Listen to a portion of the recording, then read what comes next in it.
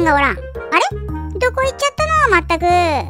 俺に黙っていなくなるなんて、ひどいがね。まあ、俺すねてまうがね。ほんでも、母ちゃんが俺に何にも言わずにいなくなることなんて、今までにゃがね。まさか、まさかとは思うけど、俺がちょこっと庭に行って、おしっこやっとるうちに、泥棒が入って、母ちゃんを連れ去ったとか。いやいやいやいやいやいや、それはにゃがね。だってうちの母ちゃん、どえりゃあ思いで、そう簡単には連れ去ることはできんがね。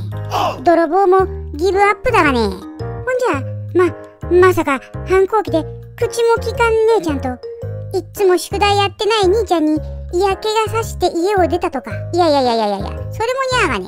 だって、ついこの目は、家族に内緒でこっそり買った新しいカバンがまだ届いとらんがね。それはにゃーわ。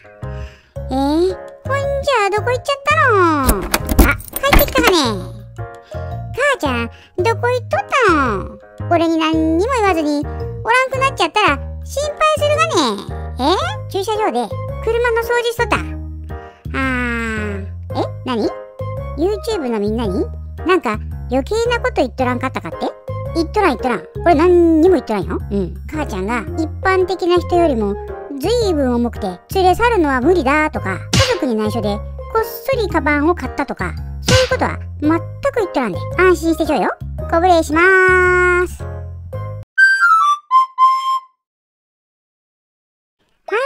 あ、母ちゃんが見つかってよかったかね。ほんでも母ちゃん、どっか行くなら俺に一言言っといてくれないかんがね。え俺どえりゃ心配したかね。まったく。え何？母ちゃん。駐車場で？車の掃除しとったら？ご近所さんに会って？ちょっと立ち話をしちゃったと。え、ゃんのおしゃべりにも困ったもんだがね、まったく。付き合わされたご近所さんも、まあ迷惑被っとるわ、きっと。え？ああ、ほんでもまあとりあえず、母ちゃんが帰ってきてくれて、ちょっと一安心だがね。え？心配してくれたのって？心配しとらんよ、別に俺は。俺が心配しとったのは、えー、ご飯のこと。ご飯とおやつのこと。ただそれだけ。うん。昼寝でもしようかな。ねえ、母ちゃん。その前に、一口なんか、もらえんかな？おやつかなんか。ん？母ちゃん。なんかもらえん？ん？母ちゃん。もしもしこれからもいっぱい喋るでチャンネル登録してちょ